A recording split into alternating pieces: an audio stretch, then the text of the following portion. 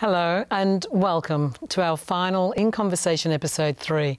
I'm Lydia Miller, Executive Director of Aboriginal and Torres Strait Islander Arts of the Australia Council for the Arts. We acknowledge the Cammeraygal lands of the Eora Nation and all the lands throughout this beautiful country where all of you are joining us from. We acknowledge the First Nations people and honour their elders, past and present, and respect their deep, enduring connection to lands, waterways, and surrounding clan groups since time immemorial. This is the third episode in our new series In Conversation with the Australia Council. Over the last week, we've been joined by George Megalogenis, who chatted with my colleague Wendy Were around the economic impacts of culture and creativity, the impacts on productivity, inclusivity, rebuilding, and recovery. In our second episode with Georgie Harman, CEO of Beyond Blue, and Adrian Collette, CEO of the Australia Council, we discuss the importance of well-being and recovery as we rebuild our communities, environments, and look to next year. This fundamental theme of recovery, rebuilding, and being prepared economically, socially, and personally leads us into this third and final conversation. We may touch on traumatic events in this conversation, so please take care of yourself as we explore some potentially difficult topics together. It's now my great pleasure to welcome my guest, Shane Fitzsimmons. Lydia, it's lovely to be with you. Thank you for the opportunity to have a chat. It's great that you can join us for this third and final episode, Shane. In May this year, Shane was appointed as the inaugural Commissioner for Resilience New South Wales and Deputy Secretary of Emergency Management with the Department of Premier and Cabinet. This appointment followed a distinguished career with the New South Wales Rural Fire Service of over 35 years, serving as both a volunteer and salaried member. Shane, thank you for joining us as part of this conversation. And I just want to say, I've heard you described as the nation's father.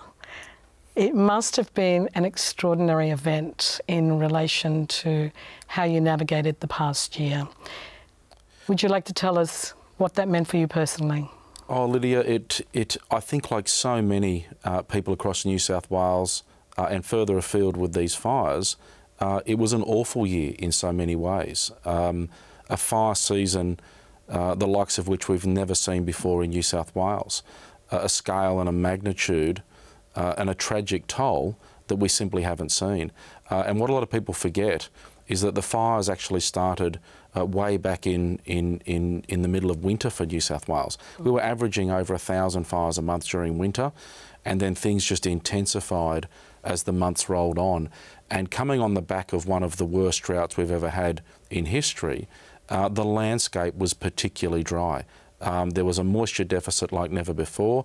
100% of the state was drought affected or drought declared.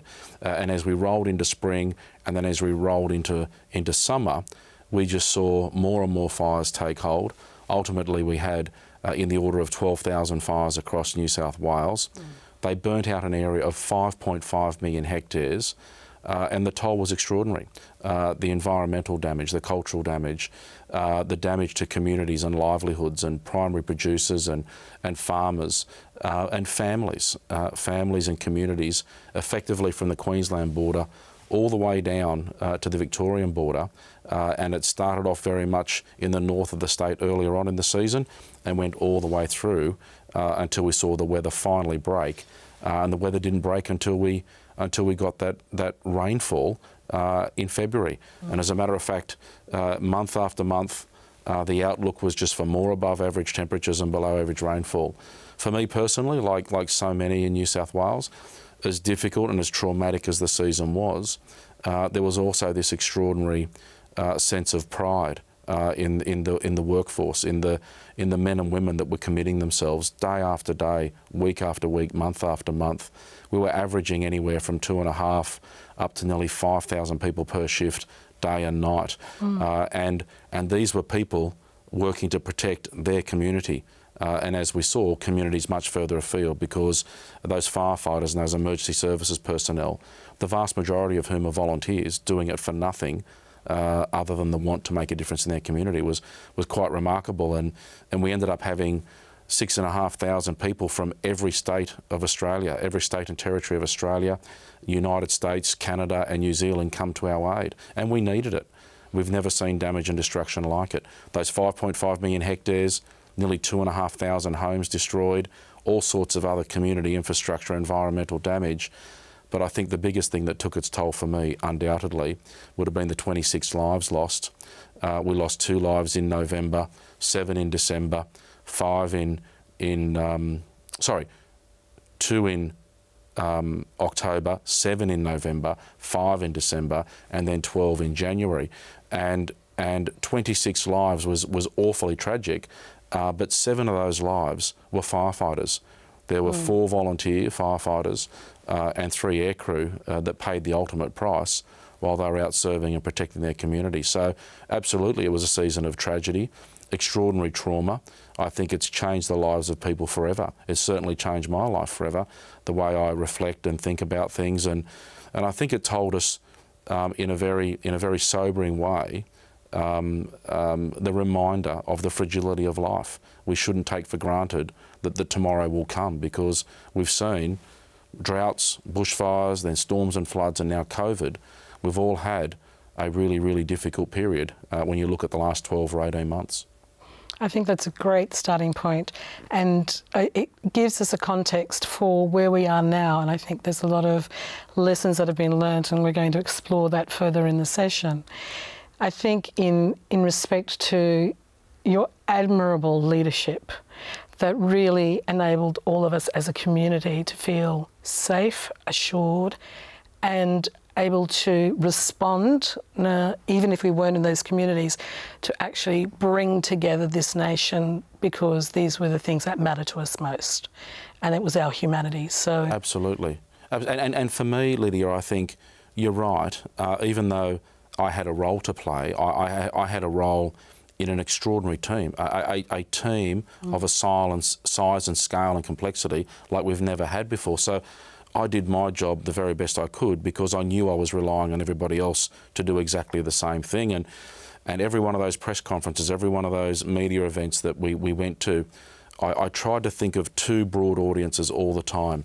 The remarkable men and women that were out there on the front line, behind the scenes, in control centres, doing their very best to save and protect everybody, them and their families and loved ones.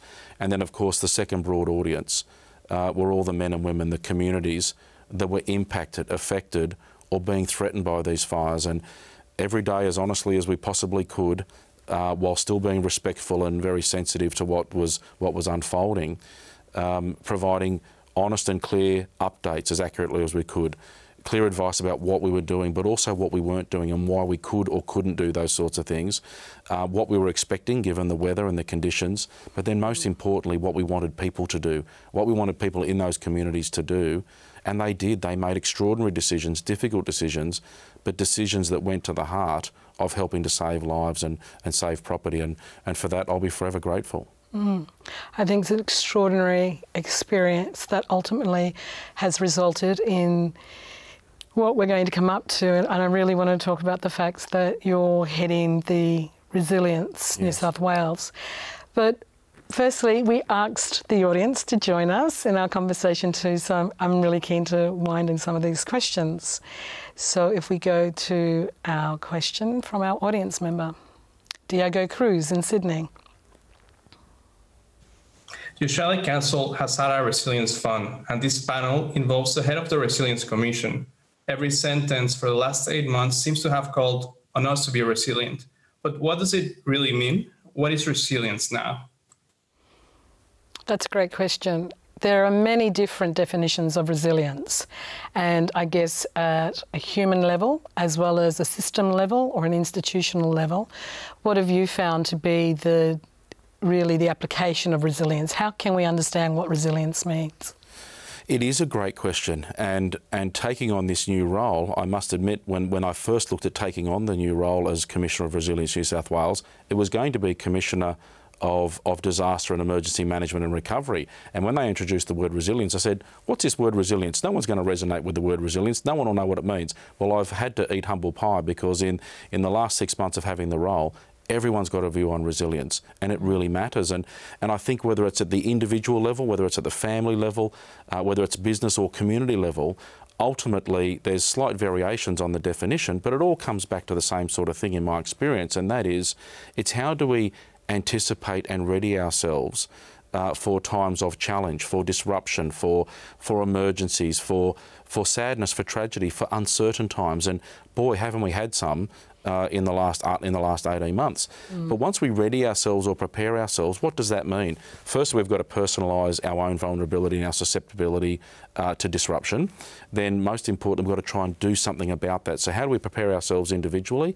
Uh, we have conversations, we share insights, we share we share thoughts and feelings, but we do things like have plans and have ideas and conversations around what are we going to do in the event that we're affected or we're disrupted.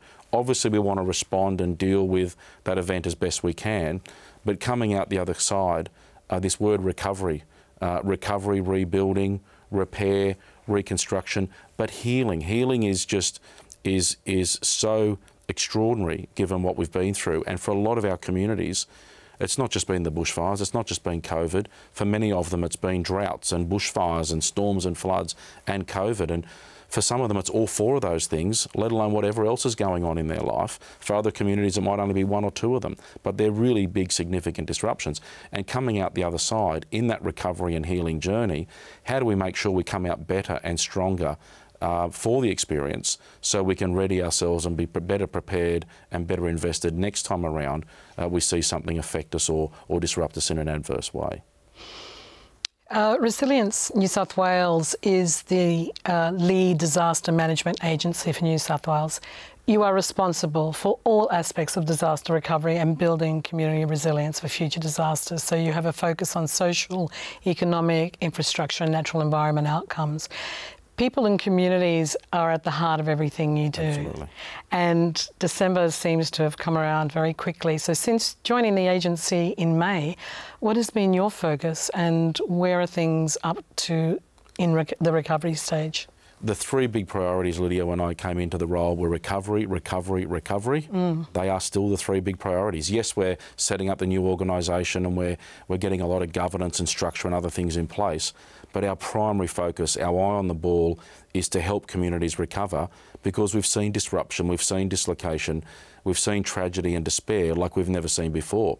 And whilst we've seen all that, we've also seen this extraordinary um, dominance of humanity, of community spirit, of volunteerism at the community level, helping uh, with that recovery and that rebuilding and that regeneration, and indeed the healing of communities everywhere. And and whilst communities have been affected and and impacted by similar or related events, everybody's experience is different. Everybody's individual journey is different everybody's every local community is different. What is a priority in one area is of a different priority in another area. I think I was talking to you off, offline just a little bit earlier, and and even today, I was down in Cobargo this morning catching up with with people down there, and in the local relief centre. Uh, we're coming up to the 12 month anniversary of the fire that hit Cobargo on New Year's Eve. There are people coming forward this week for the first time to say, I'm ready to have a conversation around what assistance is available. And we're seeing that right across the state. So everybody's journey is different. Everybody's experience is different. Mm. Everybody's ability to process the enormity of the challenge and the impact is different. So we've got to make sure that our, our systems, our, our programs, our supports are flexible enough and nuanced enough to be able to accommodate individuals, ind independent businesses, community profiles, all those sorts of things. We need to be able to connect uh, as is necessary and is, as is prioritised by those local communities.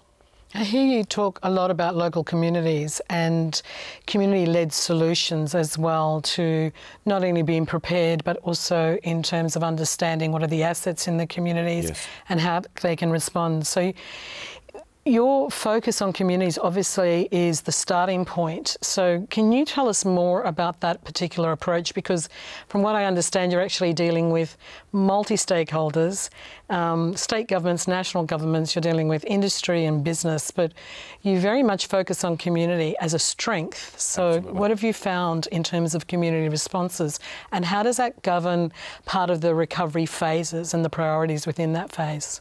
So, so look, I'm a, I'm a really strong believer in the best led anything is that which is locally led. So the local planning, the local preparation, the local response, but then also the local recovery. And, and at that locally led um, uh, philosophy, we need states and national bodies to make sure they're supporting and they're facilitating and they're enabling and they're empowering um, local communities, local leaders to be able to do the things that matter, that are of priority and that are considered necessary by that local community.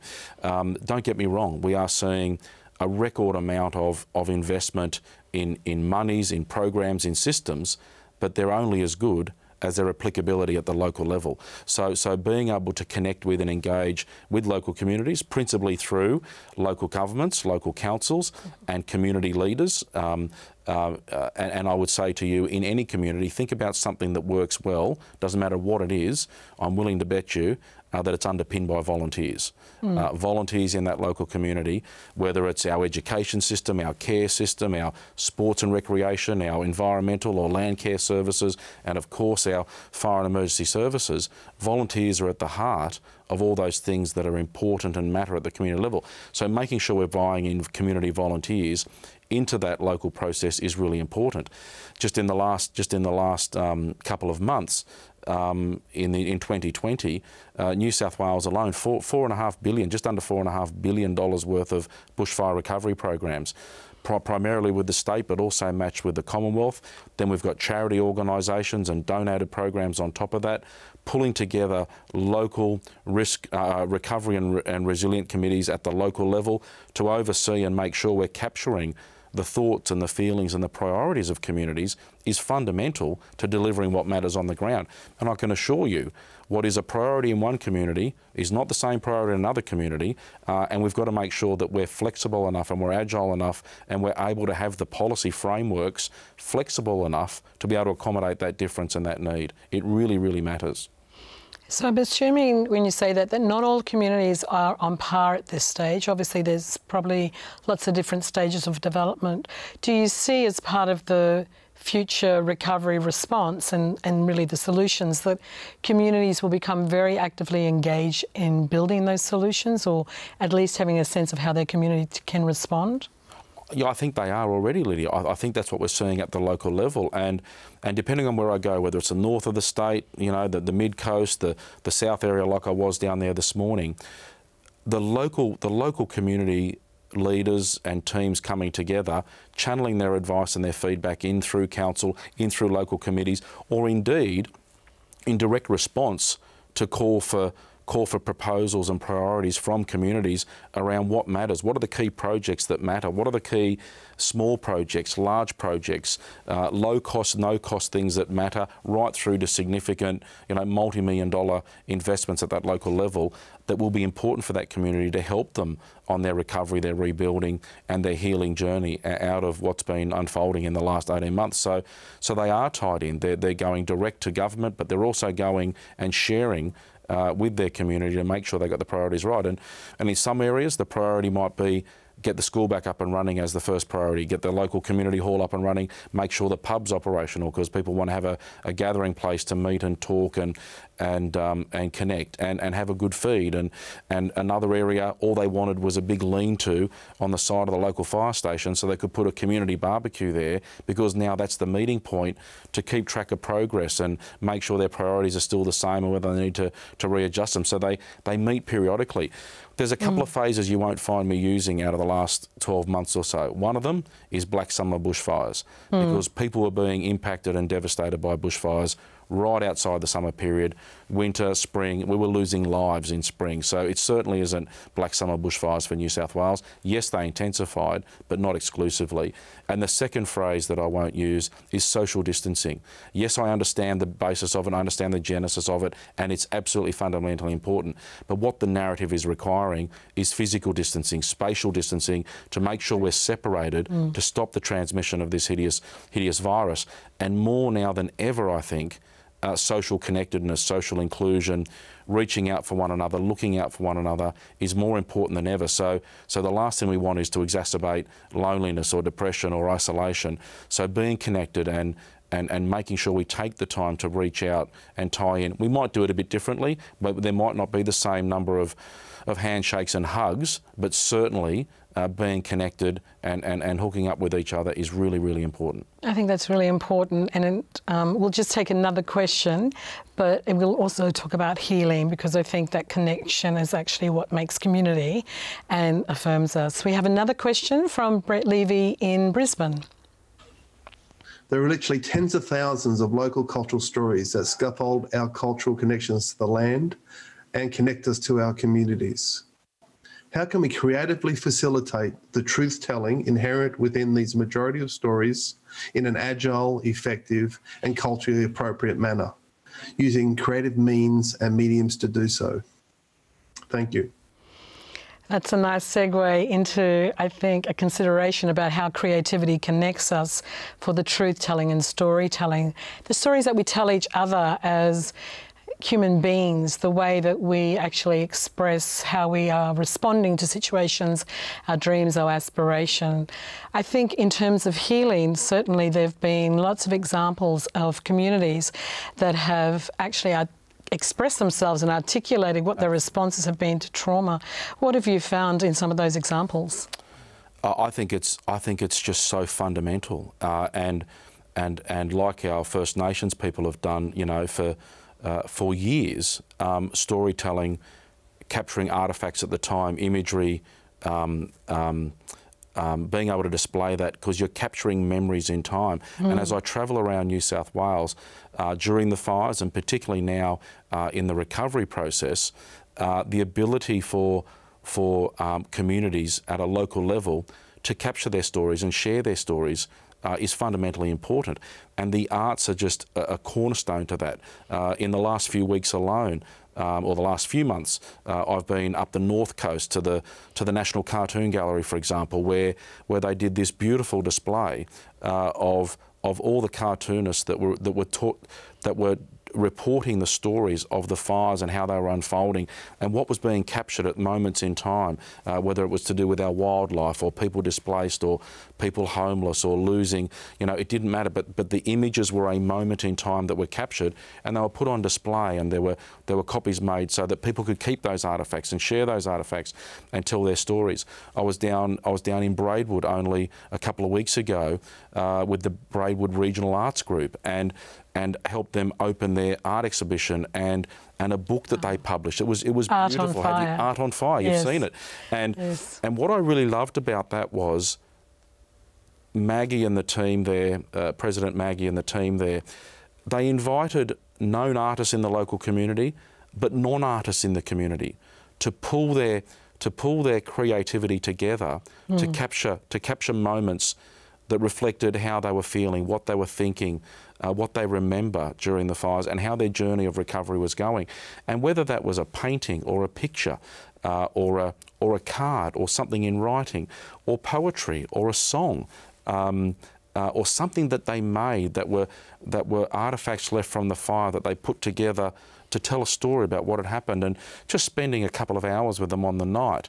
Uh, one of the fellows played on his he, he strummed the guitar and and played this beautiful song that he created, reflecting on the time of the story. So you've got this you've got this arts group that came together. They've they've put this beautiful exhibition together in the local um, um, art art facility down there. Mm. But they've put it into a publication and they're sharing it. It's a moment in time. It's, it's, it's our history being created page by page because people have taken the time. But something so more powerful than that was catching up with the people on the evening, this is only Friday week ago, mm. um, emotions are still very raw. The emotional and psychological repair and healing is very real.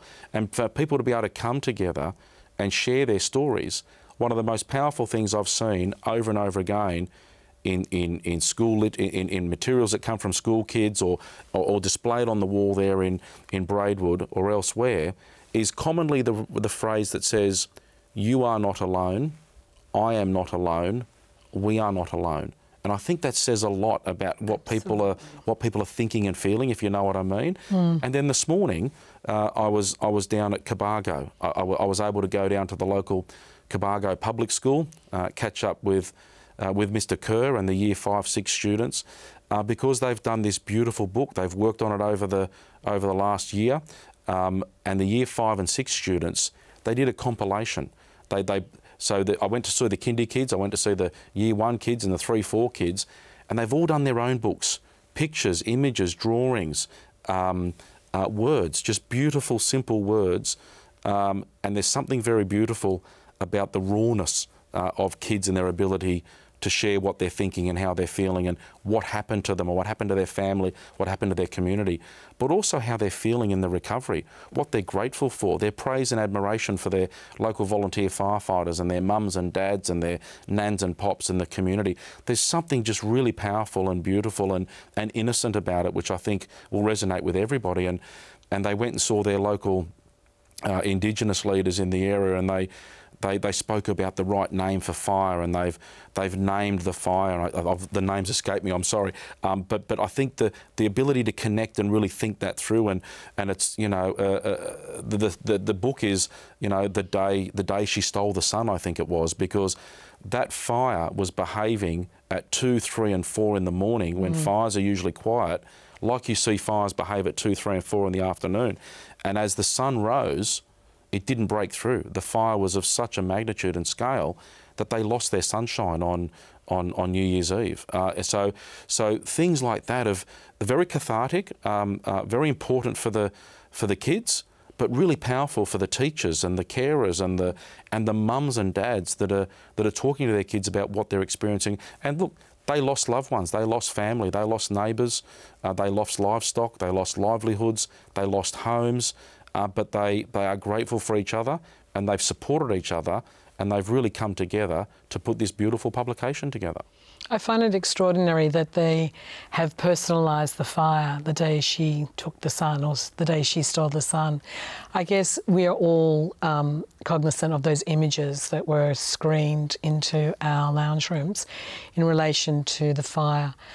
it, it is extraordinary that the aspect of being able to express that has come through music and dance and poetry and song and and actually telling the story, being able to give it that expression.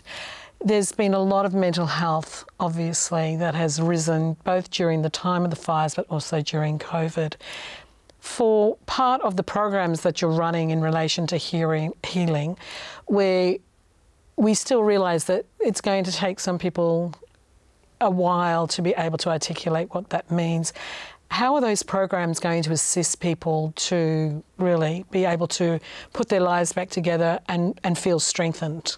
How can they be resilient?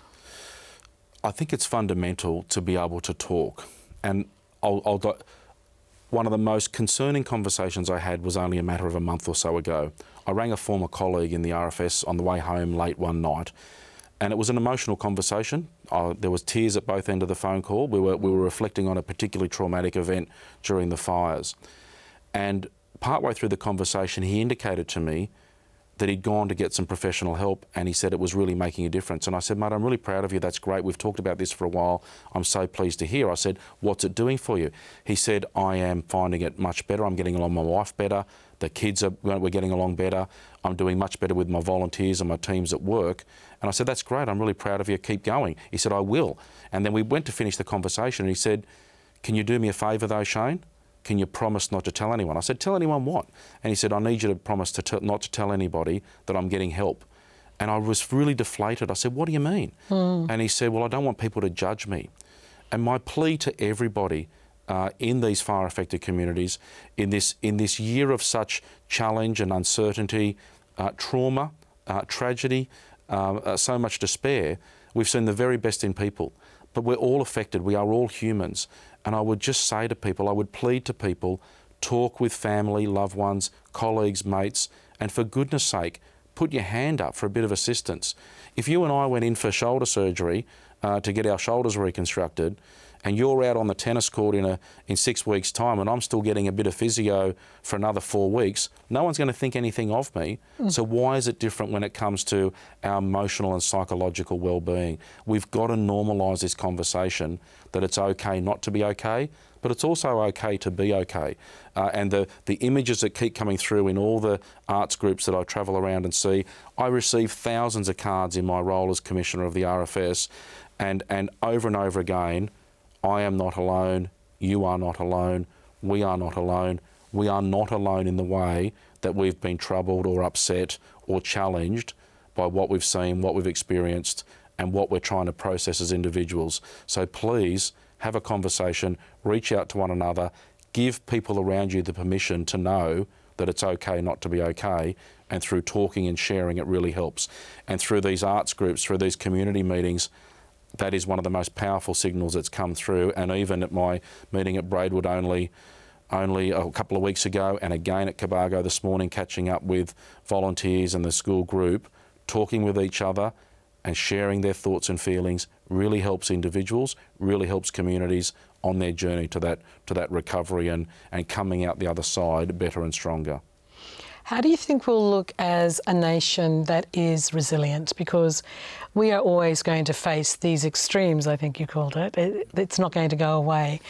And in doing so, because you're now in such a major decision making role, coordinating so many uh, disaster management services, what do you think the role of arts and creativity can play so that as a nation we become a resilient nation? Because we have to be. It's, we're taking stock of the history of our practices, the type of environment we've got, the changing climates, and we are faced with really a conundrum about how the decisions we make today will really lay the foundations for future generations so that they are extremely resilient and able to respond, but also understand very deeply what is the nature of all of us living here.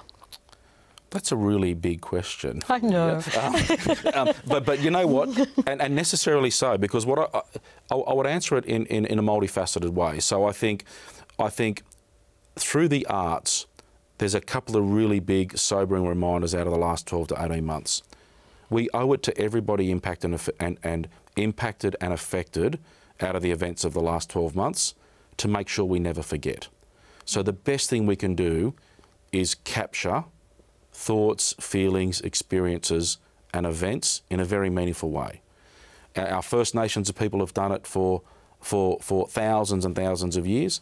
We've got to continue to do it so we don't forget. So that when we're reflecting back on what happened in, you know, 2019, 2020, there are stories, there are images, there, and most importantly, there are the thoughts and feelings of those people that were living it and experiencing it captured somewhere somehow. And one of the one of our callers online talked about you know different ways of digitising and and being able to share and empower people through that experience is really important. I think the second thing is COVID has really reminded us reminded us all of how important the arts is uh, to uh, our well-being, uh, our social and economic well-being as a community, as a state, as a nation. And I think like like anything when it comes to building resilience is being open to the fact that we are vulnerable and susceptible to things disrupting the way we live and the way we work and the way we operate. But it's our ability to foresee and anticipate the likelihood of those disruptions and ready ourselves. Ready ourselves individually, ready ourselves as, as communities, as industries, uh, as a state, as a nation. And then when those things do happen and, and we are challenged, that we've got the capacity to adapt and adjust and modify the way we're doing things, to seize the opportunity, to seize the moment, to do things smarter, to do things differently, but not lose the core uh, of what we're trying to do and why we're trying to do it. And I think getting back to that phrase that I talked about a little while ago, I hate that phrase social distancing. Mm. Uh, it's about physical distancing. But what community is, what, what, what love and connection is all about, is being able to connect and socialise um, uh, and join up uh, with family and loved ones and colleagues uh, and take benefit in, in music, in theatre, in cinema, uh, uh, in, in the ability to see the creativity uh, that resides in our community that captures moment in time, moments in time, and reflects on thoughts and feelings. So the arts has proven that if we can make sure we are resilient in what we do and the way we do it, we're better able to withstand the knocks and the bumps and the big emergencies that will come our way into the future. But most importantly, we will come out the other side uh, and, we, and we will adjust and adapt and be renewed and be better and be stronger as a result of that disruption or that or that event. And I think we are seeing that absolutely uh, in the events that we've seen over the last 12 months, 18 months. It's been a it's been a period of time like like no other in my lifetime. Mm. Um, but what I've what I've seen in the adversity, in the in the tragedy, in the despair and the and the anguish, I've seen this extraordinary dominance uh, of community spirit, of humanity that has outshone the darkness, that, that's been able to pull people together. You know, love and compassion and care and consideration. It, it has overwhelmed me in terms of how wonderful um, the people of New South Wales are, how wonderful our fellow Australians are, and indeed during our darkest of times during the bushfires, the generosity and support and care that came from from, from overseas. You know, people really gave and gave enormously, whether it was providing a, a room for the night to someone who's now homeless because they've lost everything or don't know whether they can get back to their home and it's still going to be there, through to the provision of goods and materials, donating of their time and energy to make a difference, or the generosity through fundraising. We've seen some pretty wonderful people rise, uh, and like I've seen through recovery meetings and recovery groups, the kids at Cobargo School today, uh, the BRAG, the, the Braidwood Regional Arts Group, the teams up the North Coast, Mid Coast, you know, local towns and local communities are putting on arts festivals and arts programs to get people to come together to do things. And ultimately, it's a good excuse to have a chat and just see how people are going. It really matters. Great. I'm going to come back to you um, towards the end. But uh, our final question for the evening, it's from Sophie Travers in Melbourne. Hello, my question is about the pace of recovery. In this first period, uh, as we respond to the effects of COVID 19, many of the grants and schemes that we've been delivering have been about quick response. And I'm wondering how we ensure that artists and communities who think more slowly and possibly more profoundly are not going to be left behind as we distribute resources that's a that's a wonderful question, and the simple answer is this: that yes, there's a there's a need to distribute funding and programs and support in the immediacy uh, following an event or a disruption, but so many of the programs are designed uh, to be rolled out over the months and years following the major disruption. And even I can say off the top of my head, we've got we've got just over four billion dollars, four and a half billion dollars nearly just in bushfire recovery alone. Hundreds of millions of dollars, billions of dollars has already gone out uh, in in direct grants and different and direct support programs. But there's also this extraordinary body of work and dedicated funding uh, that can provide for local economic recovery, local community um, resilience and rebuilding programs, uh, recovery programs uh, that can enable people to, to implement those programs over the next few years. I think the other important thing, Lydia, listening to that question from our from our last person there, is that everybody's journey is different. Even down in Cobargo this morning, we're about to hit the anniversary uh, in a couple of weeks' time of when the fire hit that town. I was talking to somebody that, that works in the relief centre down there, and this week someone has come forward for the first time since being affected by the fires to say, I'm ready to have a conversation around what assistance is there for me. Up the north coast, well and truly beyond 12 months after they've been impacted by fires, people are coming forward to say, I've heard about this assistance thing. I know you've been offering it for a long time, but I'm now ready to have that conversation. Where do I start? What can I do? So we've deliberately got to make sure that not all the money goes out in the immediacy after the impact or after the event or after the disaster, but making sure we've got the programs and the funding dedicated to help people on what is going to be a, a long and considerable, uh, difficult journey. It's extraordinary in terms of people understanding where they're at to ultimately say, I think I'm ready. Mm-hmm. And that personal journey is also, I think, anybody who's been through that trauma has themselves have to find that inner well of strength. I'm just going to ask you, Shane, you've been extraordinary in terms of being able to support a community and a nation to recover. What do you yourself look to to find your inner well of strength? I've looked to a number of things in the last year or so. Uh, first and foremost, in my role as Commissioner of the RFS, it was the members, it was the volunteers uh, and the salaried members of the RFS and all the fire and emergency services that no matter how difficult, no matter how deflating the conditions got, day after day, week after week, their commitment, their dedication, their tenacity, their ability just to turn up day after day in their thousands, doing their very best, and sadly, a number paid the ultimate price in that service to community. But I've also been uplifted by the extraordinary community response, the way communities have responded to the uncertainty, to the tragedy, to the to the fear of what was unfolding around them. And as we've moved into COVID, to see us dealing with something, particularly early on in the year, that we didn't know a lot about collectively. Mm. We were learning as we went. But to see a considered, to see a patient, uh, to, to see a patient considered, decisive community responding to the expert advice, whether it was fires, whether it was COVID, people understood the significance, they understood the gravity of what was unfolding, and to do their part to make sure we were saving and protecting as many people as possible was really uplifting. I think for me, that inspires me, that keeps me going to see volunteerism, to see volunteers, men and women, um, and communities impacted and affected doing their very best. And to be able to be a part of something that every day I know I've got teams of people that are just giving of themselves for the want of making a positive difference uh, in the community. That's what their focus is. That's pretty special to be a part of. And I always look around if I think I'm having a bad day and it's a legitimate bad day, I always think about who else is having an even tougher one. Uh, so I maintain a bit of perspective. I've got a wonderful family, I've got a wonderful support network. They keep me very grounded. When I walk in the door at home, I'm in charge of nothing.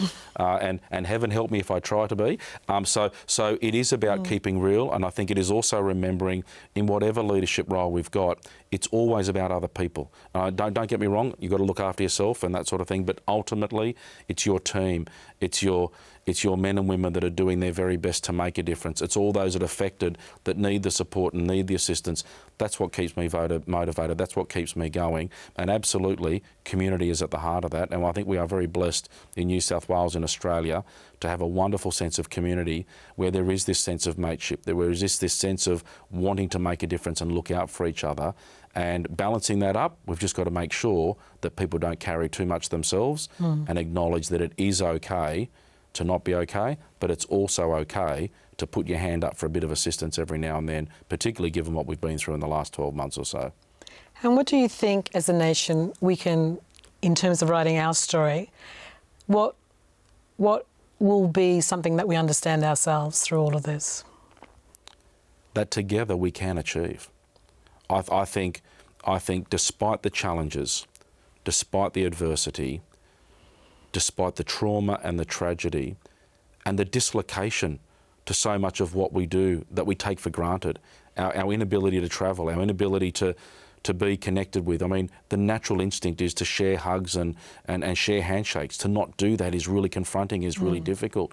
Um, but I think together, when we know and understand the issues, when we know and understand the facts as best as we can, by crikey, as a nation, we can do wonderful things.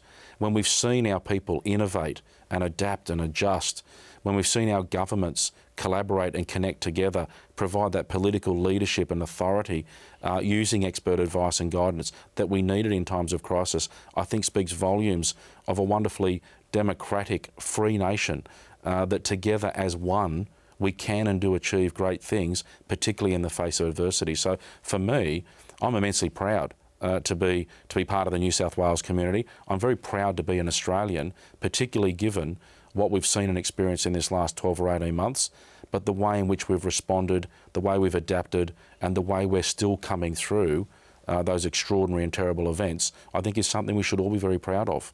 And I think we are, in many ways, uh, the envy of the globe. That's fantastic. Thank you so much. Um, inspirational. Shane, thank you so much for chatting with us. It's been absolutely a journey through what has been an extraordinary year. And I, I think we don't always fathom it, but you've articulated it beautifully.